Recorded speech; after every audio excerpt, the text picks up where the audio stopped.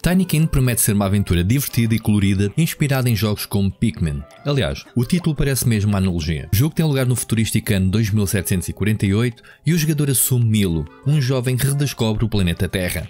O problema é que o jovem tem o tamanho de uma moeda, e quando chega ao planeta, descobre que este ainda está nos anos 90. E como se pode ver, estes ingredientes justificam a exploração de uma casa em que as mobílias e os objetos banais são obstáculos a ultrapassar pelo jovem miniatura.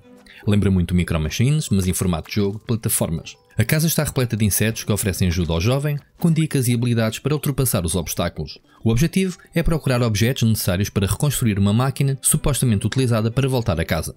E claro, conta ainda com os Tinykin, pequenas criaturas que são essenciais para interagir com o cenário. Tal como Pikmin, é preciso encontrar todas as criaturas espalhadas pela casa, que passam a acompanhar o protagonista durante a sua exploração. Puxar o gatilho do comando ativa o modo de arremesso, permitindo alocar personagens interruptores para ativar mecanismos ou mesmo empurrar objetos para desbloquear caminhos ou transportar outros objetos gigantescos. Outra espécie de Tinykin funcionam como explosivos para destruir certos objetos e pela demo ainda existem mais duas ou três espécies para descobrir.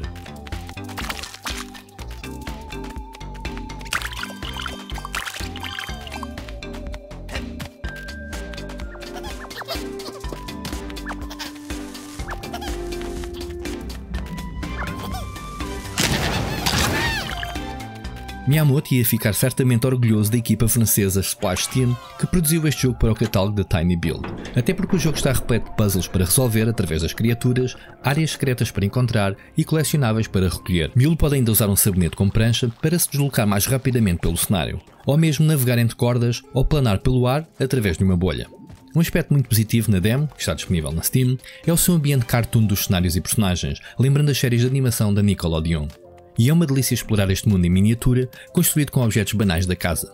E o protagonista, Milo, e as restantes personagens foram desenhadas em 2D num mundo tridimensional, num contraste delicioso, muito colorido. Ainda não há uma data de lançamento para este Tiny Kin, mas está marcado para o verão para todas as consolas e PC.